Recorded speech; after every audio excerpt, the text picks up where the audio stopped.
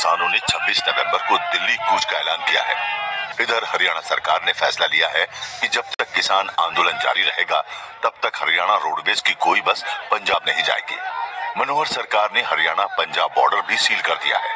इसे लेकर बुधवार को अम्बाला में चंडीगढ़ दिल्ली हाईवे पर तनावपूर्ण माहौल रहा। काफ़ी संख्या में पंजाब के किसान दिल्ली जाने के लिए बॉर्डर पर पहुँचे हैं। किसानों को रोकने के लिए बॉर्डर पर पुलिस बल और अर्ध सुरक्षा बल तैनात हैं। किसानों ने पुलिस से धक्का मुक्की करते हुए आगे बढ़ने की कोशिश की। कुछ किसानों ने बैरिकेड तोड़ दिए। हरियाणा पुलिस को वाटर कैनन का इस्तेमाल कर किसानों को पीछे हटाना पड़ा।